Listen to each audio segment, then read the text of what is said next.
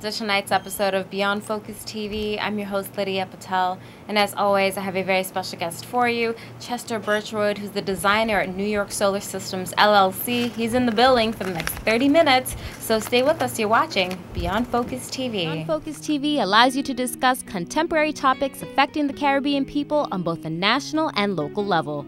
The show features informed guests who offer insight, debate, and evaluate various issues. Beyond Focus TV builds on the station's mission to provide useful information to the Caribbean people in New York and abroad. Beyond Focus TV, where our viewing audience can get educated, informed, and empowered. Welcome back. You're watching Beyond Focus TV. I'm Lydia Patel, sitting here with Chester Birchwood, who's the designer at New York Solar Systems LLC. He's here to give us a great interview tonight, very informative, and tell us all about New York Solar Systems. So, Chester, welcome to the program. Thank you, Lydia. I appreciate it. Thank you. Well, it's great to have you here on Beyond Focus. We always try to really bring different guests on board who are really going to share something informative with our, our viewers, our listeners, and of course, you know, the environment. That's something that's yes. definitely a hot topic. Yes so much is changing. It's 2016, we're going into 2017, and I think now is the time more than anything else. With so much going on that if we don't try to do our little part, and as cliche as it may sound, we all have to play a part and do little things that could help us. So let's dive straight into it. Tell us a little bit about New York Solar Systems. Well, thank you, Lydia. And New York Solar was started in September of 2008. The idea of starting New York Solar was to be able to bring alternative technologies to people that never was exposed to it, especially people in different urban settings. Mm-hmm. And one of the things that we strive to do is to do a little bit of applied alternative energy technologies, right? Okay. We actually apply it. And we do a lot of cutting edge stuff like for heating, for using solar for heating, use solar for cooling, we have a project. Have a project right now that um, the FDNY is evaluating, which they have on the, their training session at Randall's Island, and we're using solar to help with the cooling of one of one of the um, garages at, at, the FDNY um, training school at, at Randall's Island. Apart from that, we have done stuff with solar cooling in um, one place in Crown Heights, not too far from here, mm-hmm. right? And overseas, we have done solar electric with battery backup, right, in Trinidad. So we are hoping to expand our, um, our ideas and our vision for having using, using solar in every application from hotels to homes to whatever, whatever we have to do. But we try to do it different from what most of the solar companies are doing because we're trying to include batteries, we're trying to use solar hot water, we're using um, different solar panels that they wouldn't use. So, and we have some here t- tonight. So, Chester, tell us a little bit about some of the benefits because a lot of people may not. I think it's just a lack of information. Mm-hmm. There isn't a lot that's readily available unless you're really going to go do a search mm-hmm. on your own. So, really be that source of information for us tonight and really kind of bring us up to speed about why should we should choose solar. What are some of the benefits? Um, you hear about solar solar powered cars mm-hmm. and all those mm-hmm. different things, and that's kind of on the fence. But solar energy benefits. Why should we do it? Well, one thing, Lydia, is that every time you get up in the morning and you see daylight, to me that's energy. It gives you energy. The sun gives you energy. Exactly, right? In the transfer of photons, right, from the from, from the sun, and comes hit your body or hit these panels and transfer them in, into heat or into electric, right? That is energy. And for us, right, we have a resource that hit us every day, and we don't maximize that resource, and it's for free.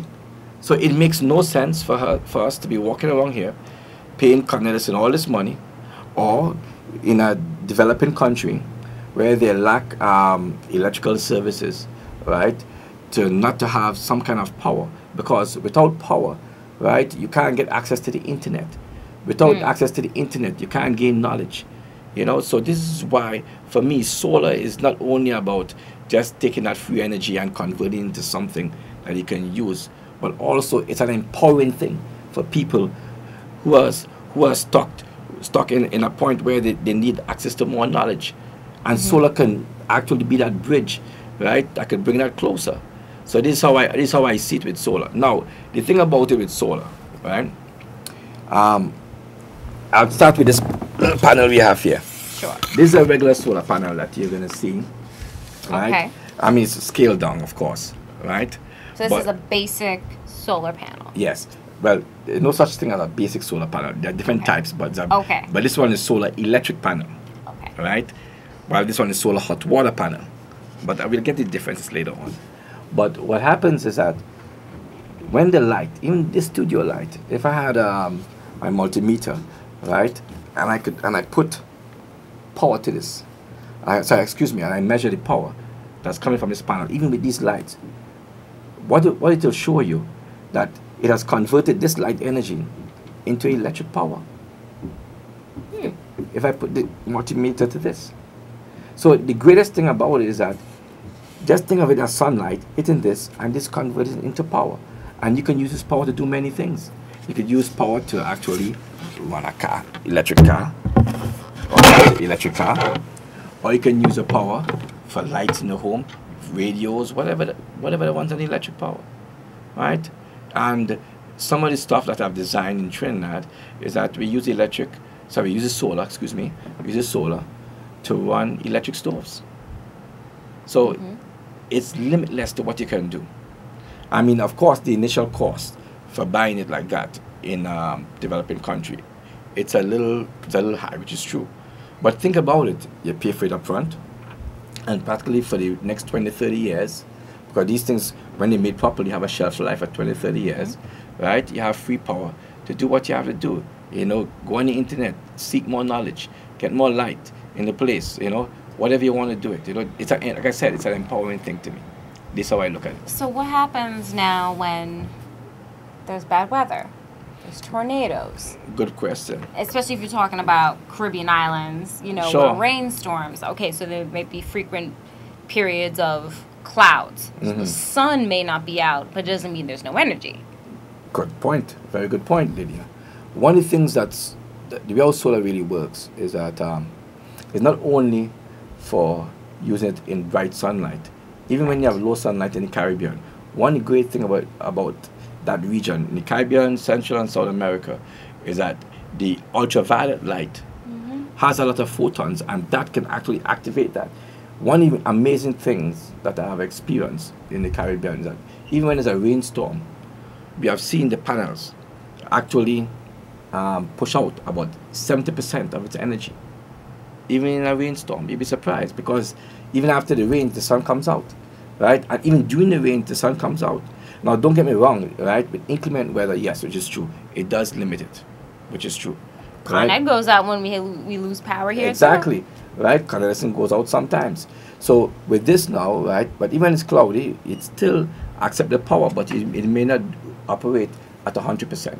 It may operate at forty percent or fifty percent, or even as low as thirty percent. It depends. But at least you have some kind of power that you can use to charge the batteries, and then from the batteries you transfer it into the electric grid within the home. All right. So that's a lot of great stuff, and I can't wait until we're gonna take a quick break. But in the next segment, we'll go into this bad boy right here and get some other information. I've got Chester Birchwood right here sitting with us. You're watching Beyond Focus TV. Stay with us.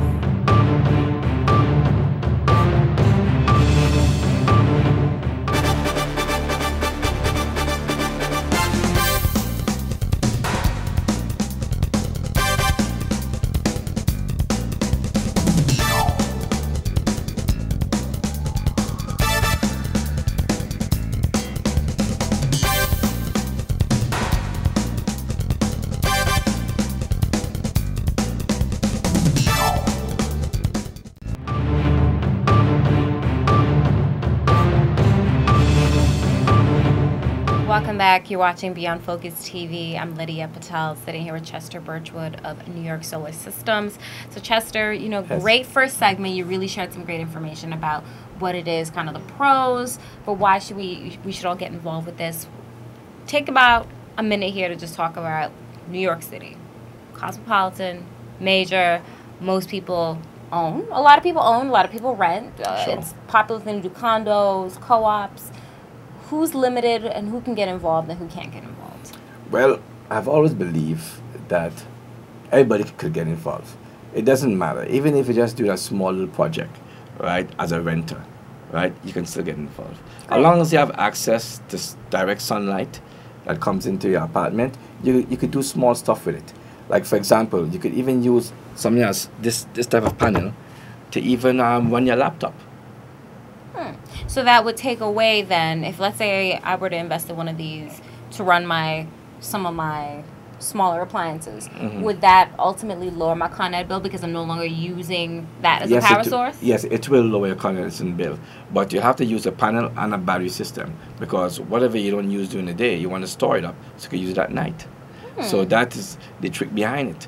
Now, what happens now is that um, Con Edison, before with some of the solar panels, Con would allow you to basically just feed them the excess power during the day with the larger solar panels, solar electric panels. Mm-hmm.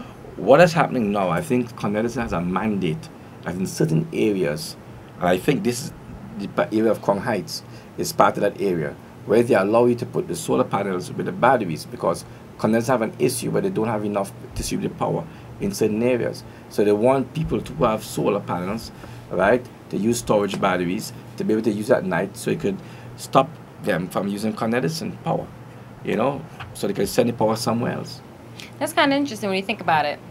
You know, so that's what was going on right now. So you know, it, it all depends, but everybody can get involved. I mean, right now the way how solar is marketed, it's marketed to mostly condo owners, mm-hmm. um, co-ops, and and homeowners, right? And of course, building owners themselves.